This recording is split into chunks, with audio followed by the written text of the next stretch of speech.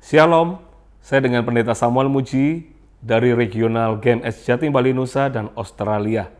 Kita akan belajar dari kejadian pasal 12 ayat 2 dan 3. Dikatakan aku akan memberkati engkau menjadi bangsa yang besar dan memberkati engkau serta membuat namamu masyur dan engkau akan menjadi berkat.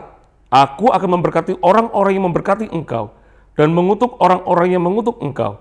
Dan olehmu semua kaum di muka bumi akan mendapat berkat. Ada empat janji yang Allah berikan kepada Abraham. Yang pertama dikatakan, aku akan membuat engkau besar. Kita semua adalah keturunan Abraham.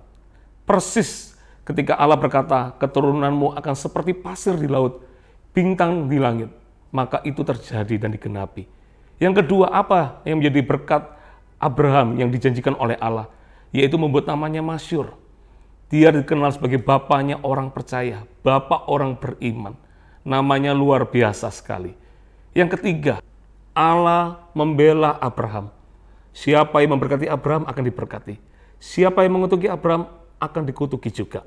Dan kita lihat akhir kehidupan Abraham, Allah menjagai sepanjang dalam kehidupannya.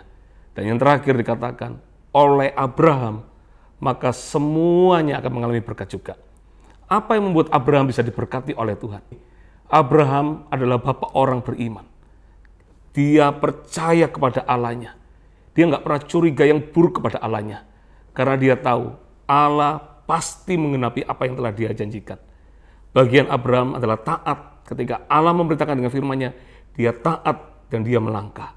Kalau Abraham bisa diberkati oleh Allah, tentunya kita juga.